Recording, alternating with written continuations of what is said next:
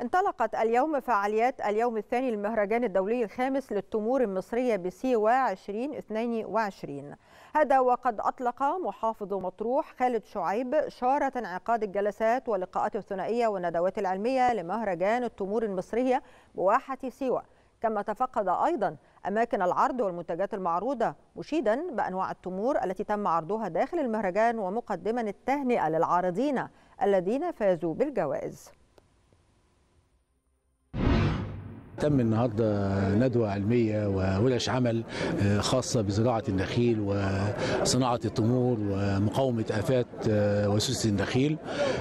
وفي الوقت نفسه تفقدنا المعرض اليوم الثاني. سعيد جدا الحمد لله المعرض جاب فعالياته كويس جدا ليه فعاليات كويسة. شفنا النهارده في صفقات تمت النهارده في المعرض ما بين شركات ومنتجين ومزارعين. الحمد لله عندنا فوق ال 80 عارض من جميع الدول العربية يمكن عندنا السودان عندنا الإمارات عندنا ليبيا المغرب الأردن السعودية دول صحيح كتير جدا موجودة داخل المعرض.